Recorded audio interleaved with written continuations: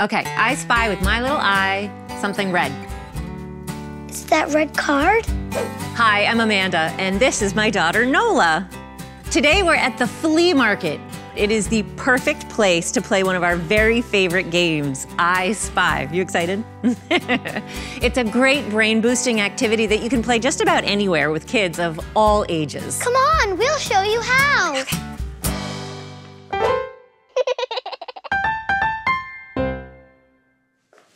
Oh, this is gonna be fun. Okay, here's how you play I Spy. First, you choose one of the players to be the spy. And then the spy chooses an object silently, like, say, this blue globe. And then reveals the object to the other players by saying, I spy with my little eye something blue. Then the other players try to guess what the secret object is. If they're having trouble figuring it out, then the spy can give an additional hint. We'll show you how it's done. Mom, you be the spy first. Oh, all right. Let's see. Hmm, let me find an object. Okay, let's start over here first. Hmm. All right, let me pick an object. Let's see. Oh, here's an important tip. Do not look directly at the object when you're giving your hints. That is a dead giveaway. All right, I have my object. Cover your ears. I chose the red dye. All right, Nola, you ready? Okay, I spy with my little eye something red. Um, is it that W? It is not that W. Um, is it that red stripe around the pin? Ooh, good one. I hadn't even noticed that. No, that's not what I was looking at. Is it the red dye? Ah, yes, you did it. It is that red dye. And you said the right word because dice is two. Two, and a die is actually just one. So you got it. Good job. This game is so good for kids' brains. It's not only a great way to expand their vocabularies, but it also develops their powers of observation. So, Nola, you want to play again? Yeah. Okay. I spy with my little eye something blue. Is it that blue block? It is not that cube. No. Keep going. Um. Is it this toy car? Uh, no, that's not what I was looking at, although you're right, that's very blue. Try something else. Um, is it that lock? No, that's not what I was looking at. I'll give you a hint. It is something that you wear. Hmm. Oh, is it that pin? Yes, that's also called a brooch, and people wear it on their shirt. Nicely done. Yeah. Now I'll do one for you. Oh, good. Okay. I spy with my little eye something golden. Something golden. Uh, is it that trophy over there? Nope. How about that necklace? Nope. Uh, is it that brush up there? Nope. Uh, the bronze shoes? Nope. All right, I give up. What is it? It's that brooch. Ah, you learned that word before. Good job. You can adapt this game to play with kids of all different skill levels. When Nola was little, I just asked her to point to an object of a certain color. All that matters is that you're making kids think about their surroundings and exposing them to new words. As always, we'd love to hear from you, so type any comments into the box below. And don't forget to subscribe to be the first to know about new videos. Bye. Stop touching me. All right, three. Oh yeah, I did it. I'm awesome. I did it. Oh, hello. I look like a school teacher.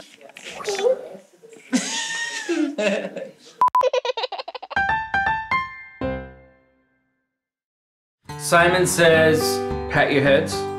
Simon says, rub your bellies. Simon says, give your daddy a hug. Yeah! Hey, I'm Jesse. Did you know that playing the game Simon Says with your kids is actually really good for their brains? And it's also a fun way for them to practice self regulation, the ability to control your behavior. This game also requires players to listen, focus, and follow directions. And if your kids are like mine, well, they can definitely use some more practice in that area. In this video, I'll show you how to play.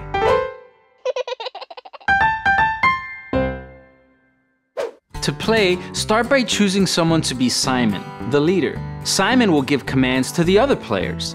When the commands begin with Simon says, the other players must follow those instructions. If the command does not begin with Simon says, any player who follows it is out. All right, guys, we're ready to play? You sure? All right. Yeah. So, Simon says, touch your head. Simon says, touch your ears. Simon says, close your eyes. Reach down and touch your toes. Simon says, touch your nose. Simon says, move like a robot. Simon says, play the air guitar. Now freeze. Ah, yeah. I got, I gotcha. I gotcha. All right. When kids learn to listen carefully to each command and decide whether to follow, they're demonstrating self-regulation, which will help them do well in school. Simon says, flap your arms like a chicken. Simon says, stand on one foot. Simon says, make a funny face. Simon says, twirl like a ballerina. All right, now bow. Simon says, touch your ears. Touch your nose. Simon says, quietly run in place. Simon says, stop. Simon says, run again. All right, let's take a little break. Ah, got you again! All right. You can adapt this game to play with kids of all ages. My little one, for example, may be too young to fully understand the rules of Simon Says. So when I play with him, my focus is introducing him to new words. Simon says, touch your ears. Yeah, good job. Simon says, touch your nose. Yeah, good job. Simon says, smile. Simon says, wiggle your fingers. Simon says, flap your arms like a chicken. Simon says, dance in place. Yeah. As you can see, my kids love to play Simon Says, and I love that they get to practice their self-regulation skills. Now we want to know how you and your kids play Simon Says. Share pictures and videos by hashtagging them Mother Goose Club. Add your stories in the comments section below. And don't forget to subscribe to be the first to hear about new videos. Simon Says, say goodbye. Goodbye. Hey, I'm Jesse. Just in case you didn't know, I'm Jesse. Definitely use some. All right. Simon says, get it together. the ability to. the ability to control your behavior. You guys are so good. Oh, you smacked me in the face. I can't, I can't win. I can't win with these guys. the ability to control your beat.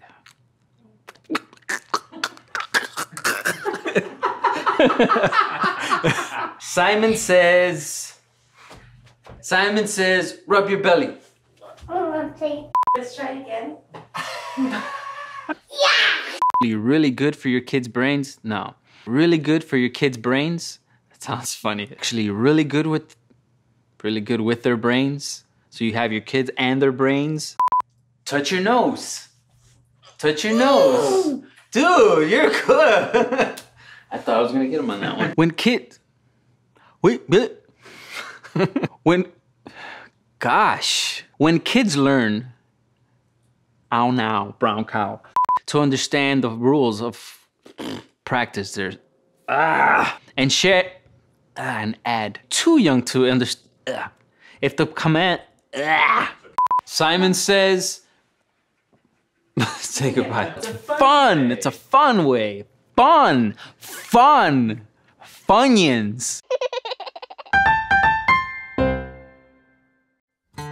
Today we're playing a simple number path game called Jumping the Lily Pad. This is a great way to introduce early math skills or adding and subtracting to your kids. We're going to show you three different versions of how to play it. Hey guys, come on outside.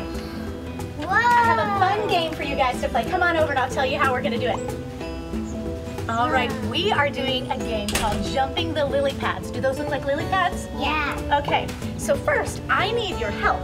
I need to put numbers on the lily pads. Everybody can start on your numbers, okay? I'm doing a red seven. Do it really big so we all can see them really good. Okay, here, come here. You want to trace the number three? There you go. Boom, Boom, boom. boom, boom. Great. Are you guys ready? Yeah. All right, here's how we play jumping the lily pad. You're gonna take this dice, you're gonna roll it, number one, two, three, and four. And then I wait my next turn, okay? All right, Silas, you go first. Roll the dice. Five. One. One. One. Your turn. Can you move to the side so Benjamin can jump? Yeah, they're big enough, I think you can go by each other. It's that song. Good job. All right, Rach. Six. No. One. Ribbit. Two. Ribbit. Three. Oh. Four. Ribbit. Five. Ribbit. Six. Good job, ribbit, Rach. All right, Silas, you get to go ribbit. again. This game is a great way to build number sequence learning. For Silas, it was so much fun for him to get to leap down the lily pads and then also to learn the numbers backwards as he leapt back towards the beginning. Five, one, two, Two. three, Three. four. That's four. Five. You made it to ten. Good job. Boom. Ooh, Benjamin. One, two, three, Now turn around and go.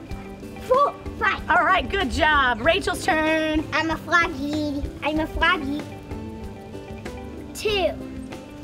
One, two. Good. Benjamin, your turn. I got a five. Seven. Six. Benjamin might make it home. I Yay! He oh, leaped all the way home. You want to do it again? Yeah. Okay. Jumping the lily pad was a really fun game for my kids. We really loved being outside. I try to get my kids out as much as possible so that they cannot be in front of electronics all day long. Jumping the lily pad is not only a great early math learning game, but it's also a great way to adapt to whatever's going on around you. If it's raining outside or it's just not good weather, play the game inside. If it looks beautiful outside, take the game outdoors and have some fun. Okay guys, come on in. Whoa. I need you guys to be best frogs you can be. Are you ready, froggies? Felt, construction paper or cardstock, scissors, marker, dice, stickers. For our indoor version of Jumping the Lily Pad, we made our lily pads out of felt. You can use cardstock or construction paper. One, two, three, four. They're brothers. And then we taped them down to the floor so they didn't move around when they jumped from lily pad to lily pad. So when I leap, I'm gonna go oh. ribbit. Oh. All right? Yes, that's a great jump. Good. I asked my kids to add stickers so that the number corresponded with how many stickers there were. This is a great way to teach subitizing to kids, which is simply a big word for when they look at the number in a set, they know instantly what it is. After we did that, we rolled one dice and we simply moved our way down the lily pads. Leap to the lily pads. Try to land on one foot if you can. Show me your best leaping, okay? You're gonna go first. I'll help you. Six. So leap to One. six. Two, three, four, five, and six. Good. I'll make one. I'll make one on ten. Three, One, two, three. Go get the die. It's your turn. It also is a game that allows children to kind of think on their own. How do they want to play the game? Maybe ask them what rules they can come up with. That way they can use those brains and their bodies at the same time. And I, you have to stand on one foot. Oh yeah, some balancing. Benjamin. Three, you get to share with sis. One, two, three. Can you froggies share without knocking each other off? This is a great way to let your kids' bodies move. Six. Ribbit, ribbit, ribbit, ribbit. This is. Ribbit. We made it extra fun and asked the kids to hop and eat the little flies as they went along. Go, little froggy. Ribbit one. Ribbit two. Um, um. Ribbit three. Um, um, um, um. Ribbit four. It was fun to hear them laughing and enjoying the game. No, watch out. You know how the floor is lava? Sometimes we pretend it's lava. We're pretending it's water, so you can't fall into the water. You gotta stay on your lily pads. We're gonna make our tabletop version of jumping the lily pad. You're gonna need cardstock, construction paper, or fun foam, whatever you wanna use.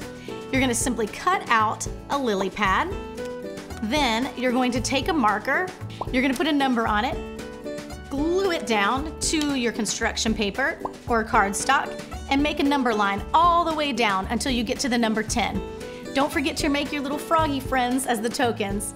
Rachel, Benjamin, and I decided to make it a little more difficult than simply going down the number path. We added as they went down and then subtracted as they came all the way back. Whoever got to the end first won the game. Then we decided to make the rules a little harder than simply following the number path. We decided to take the two dice, add them together as they made their way down to number 10, and then subtract the two numbers as they made their way back down the number path. Jumping the lily pad is a great way to get your kids moving while having lots of fun and still learning some early math skills.